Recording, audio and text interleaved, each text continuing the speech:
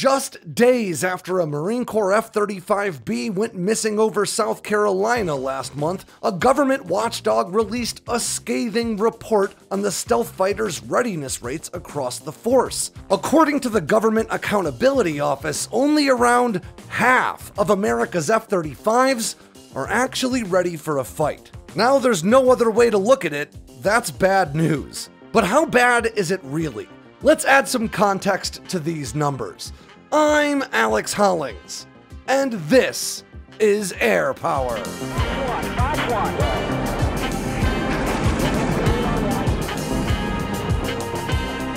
If you read the comments under my videos or written work, which I always try to do, it's not all that uncommon for those who disagree with me to call me a shill for the military industrial complex or a propagandist for the US military, because my analysis into the advanced technologies being fielded by the US defense apparatus often comes off as a bit one sided. After all, just about every developed nation in the world is actively developing new military and weapons technologies. But the truth is, from my perspective, there's very good reason to place a great deal of emphasis on US defense programs, and that's simply that the United States invests more money into research and development every year than any other nation on the planet. After all, until just recently, America's yearly black budget alone was about on par with Russia's entire defense expenditure. That means America spends about the same amount of money on covert and classified research, development, and operations than Russia usually spent on its entire military apparatus. The fact of the matter is, when it comes to fielding a number of advanced defense technologies, especially in large volume, the United States is objectively often in a class of its own. Now, that's not to say that I'm completely free of bias. Of course, I served in the United States Marine Corps for just about seven years before I was medically retired, and I still interact with U.S. service members on a day to day basis. And while some may see my affiliation with the US military and my social circle, including a number of service members, as a shortcoming for my work, which to be clear is totally fine, that's your prerogative, but from my vantage point, I see it as a strength because it gives me the opportunity to gain insight and perspective into what's really going on in the US military today, free of the media spin that's so often used to try to scare or enrage you into clicking, sharing, or commenting. And I mention all this because those fear and outrage tactics are used so commonly in media discussions about everyone's favorite aircraft, the F 35. Now, we've discussed the F 35 a lot of times on this channel, and by now you guys know my position. The F 35 is, hands down, the most technologically advanced and broadly capable tactical aircraft ever to fly.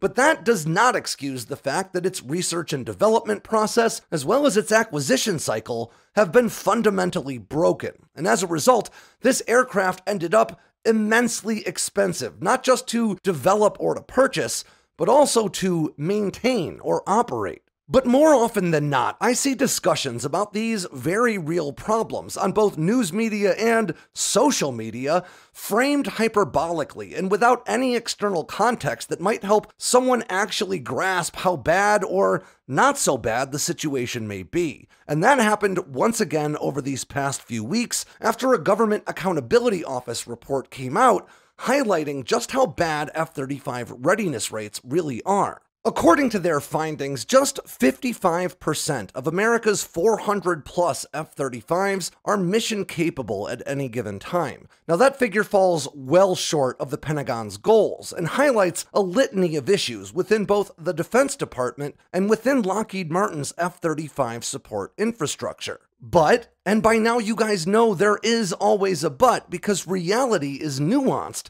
it's important for us to consider the greater context, not just of the F 35 program, but of our own basis for comparison. Because while this report does definitely bring up some real problems, to date, there is no stealth fighter program on the planet that we can use as that basis for comparison. There's no ifs about it. Lockheed Martin's money sucking F 35 is just in a league of its own, and as a result, it has no contemporaries to compare to. Now, I do understand that that may sound like bias here. After all, in a world with F 22 Raptors and Chengdu J 20s and maybe even the Su 57, there are certainly fifth generation fighters that we can compare in a one to one way. But this honestly has less to do with the fact that the F 35 genuinely can do things that none of these other fighters are capable of. It really has to do with production volume. Because to date, there are more F 35s in the world than all other stealth aircraft ever built by any nation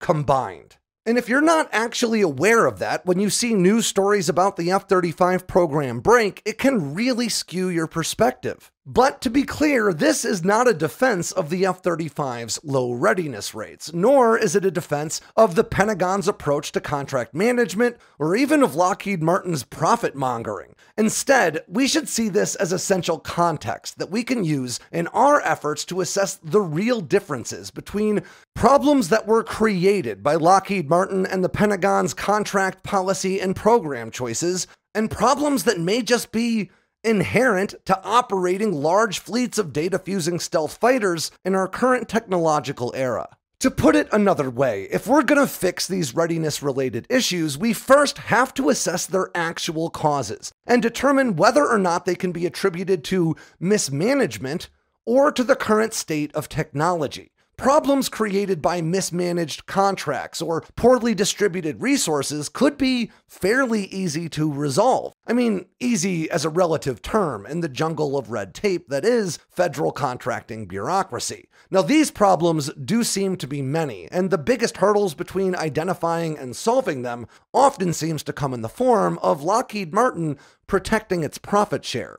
Technological hurdles, on the other hand, might actually require the advent of new technologies, material sciences, or maintenance methodologies that themselves might even require physical changes to support infrastructure or even the fighter's design. Resolving these kinds of issues comes with all the same red tape as the others, and then some. But despite the internet's affinity for just chalking these problems up to things like capitalism or how the government works, the hard truth of the matter is operating a large number of stealth fighters might actually just be harder and more expensive than operating the large fleets of non stealth fighters that we're used to. Now, I know that may seem like a common sense conclusion to draw, but our habit of comparing things like readiness rates to historical precedent suggests that we're just not willing to embrace that reality. Common sense just isn't always all that common. To take this back out of the logistical realm, it's not all that different from how I and many other analysts have explained that the F 35 just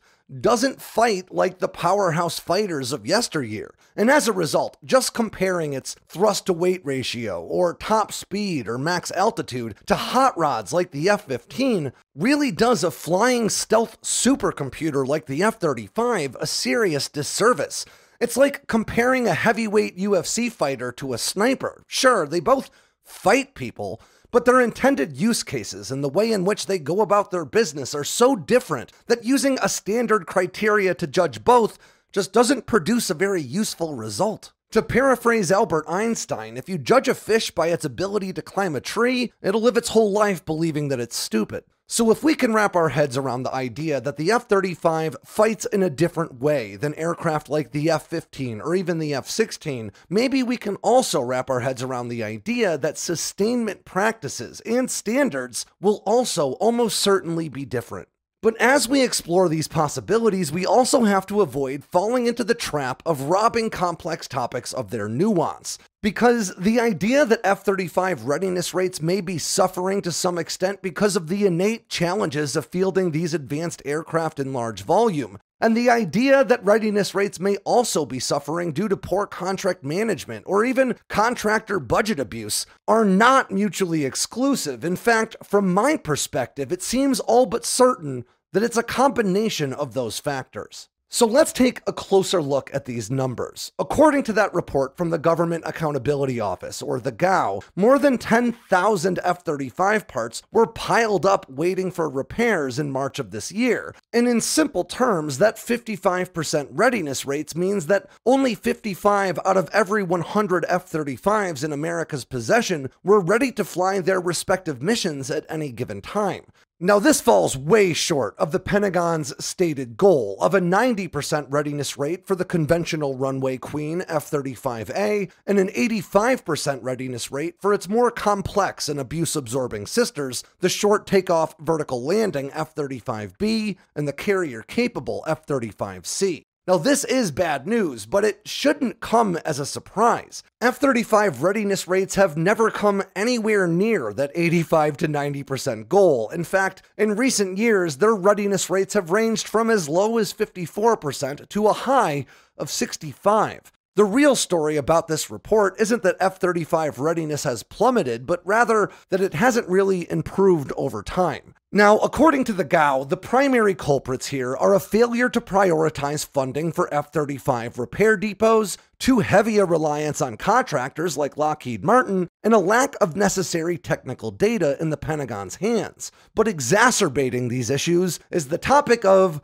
concurrent production, which before I called the dirtiest two words in aircraft acquisitions. That's what we call the decision to start building F 35s before testing was complete. That single decision ballooned the cost of this program and created countless issues in procurement, and it's now evident that it's still creating issues for sustainment. Because as a result of changes being made to the aircraft's design after low rate production began, today's F 35s are less like three variants of one aircraft and more like 14 different aircraft that just share a lot of parts in common. And that's not my conclusion. That's the GAOs. Let's dive a bit deeper into each of those issues. One of the biggest culprits, according to the GAO, is a significant and foreseeable lack of adequate depot capacity for repairs. In fact, this lack of depot capacity may be the biggest problem in the F 35's repair delays. Anytime an aircraft or system requires more comprehensive maintenance or repairs than could be done on the flight line or in a unit's facilities, that aircraft or component is sent off to a depot for more in depth service.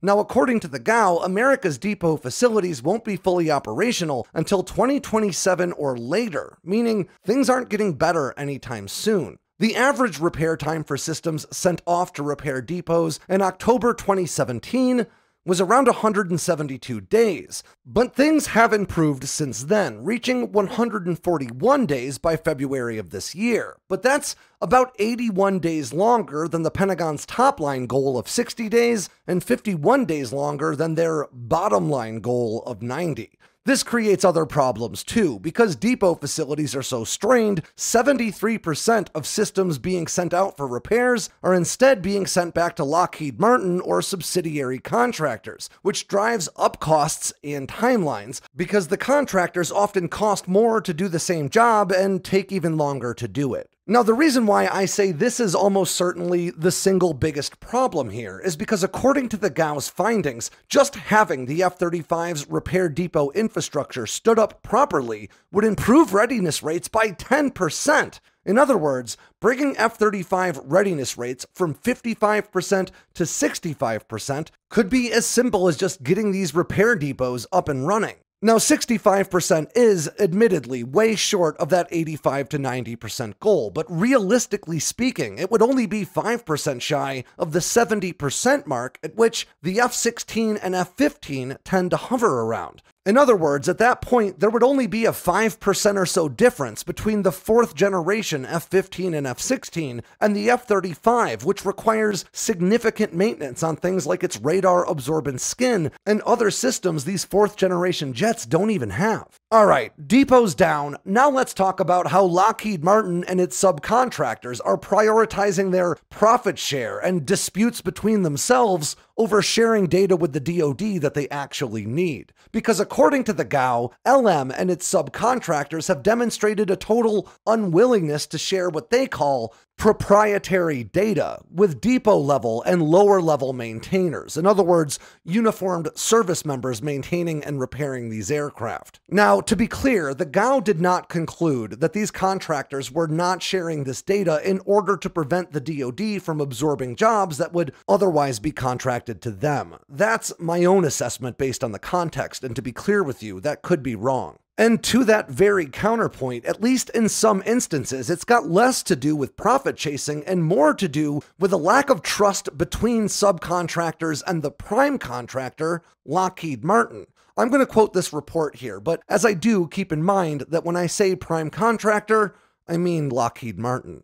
DoD officials told us that the subcontractor is hesitant to share its technical data because of the oversight the prime contractor has over the program and not wanting the technical data to end up in the prime contractor's control. Now, this problem extends beyond the physical realm and into the software as well. The F 35 flies with over 8 million individual lines of code running its onboard systems, and all of that code was written by contractors, and all of it is currently managed or repaired by the same, despite the Pentagon's ongoing efforts to secure this source code for going on five years now. And if that sounds crazy, it should because it is. And the Air Force is hoping to make sure this never happens again as they develop their next stealth fighter, the NGAD or Next Generation Air Dominance Fighter, by forcing its contractors to work within its system right from the start. The Air Force has no intentions of asking anybody for the source code. They're just going to keep it in their house so they never have to.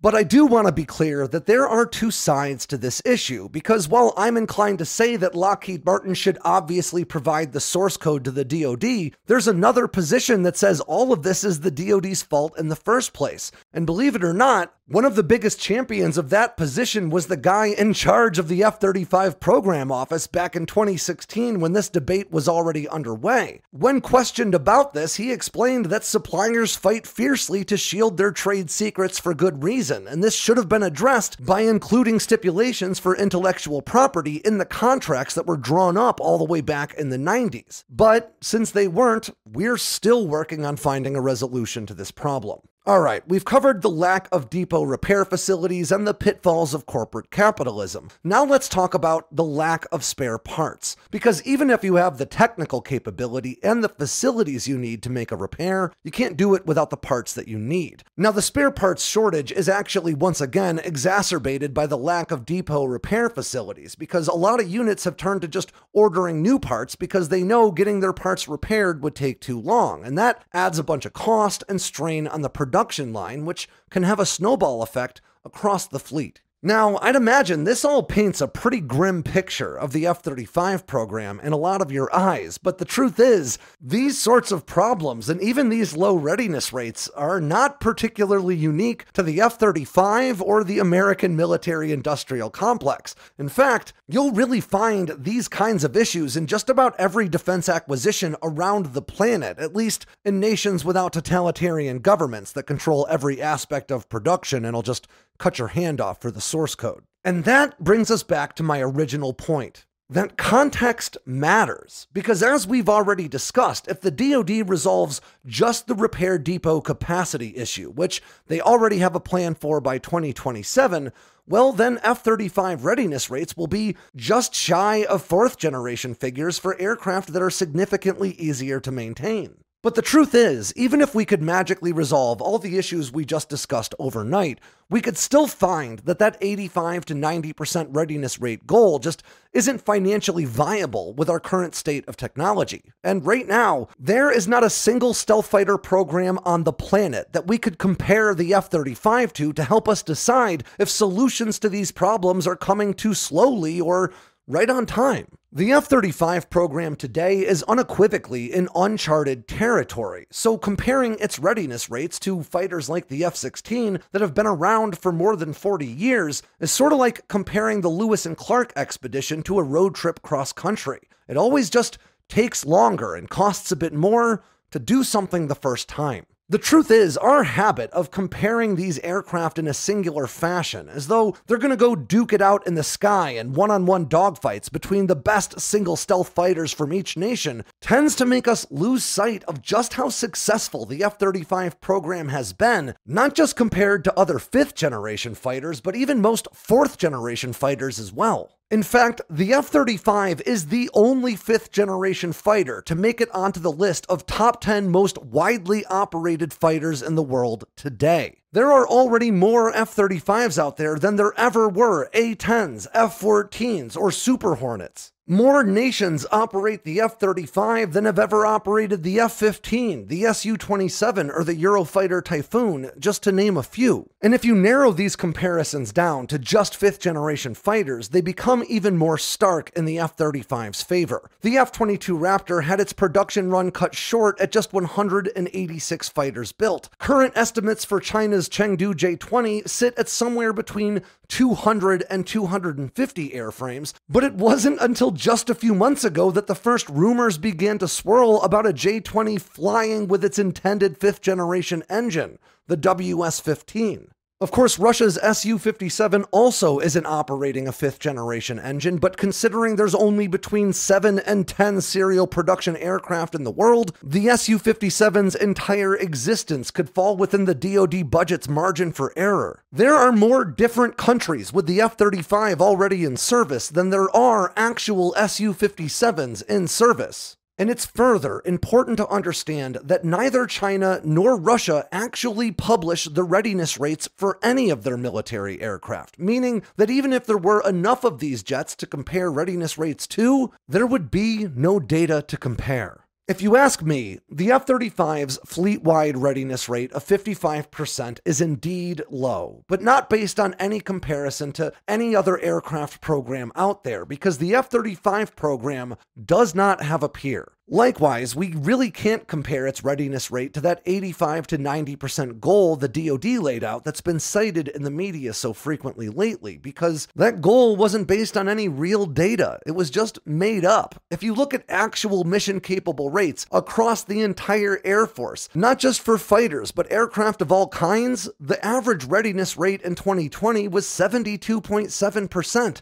The average rate in 2021 was 71.5. I mean, a 90% readiness rate is 20% better than we've been able to muster in cargo aircraft like the C 130H. No, the F 35's 55% readiness rate is low just compared to where it could be once we work out all the issues with sustainment. But the fact of the matter is, even with a 55% readiness rate, the United States has more stealth fighters mission ready on the flight line right now than any other nation on the planet. We need to be able to highlight problems and work toward progress without presenting everything as a catastrophe. And with that ends yet another edition of Air Power from Sandboxx News. I'm Alex Hollings. Make sure to swing by sandboxxnews.com today and every day for all the latest in news, entertainment, and motivation from all around the force. If you got anything out of today's video, make sure to click like and subscribe down below, and leave me a comment so I know what I should cover next. And of course, don't forget to tap on that bell icon so you never miss a drop from Sandboxx News.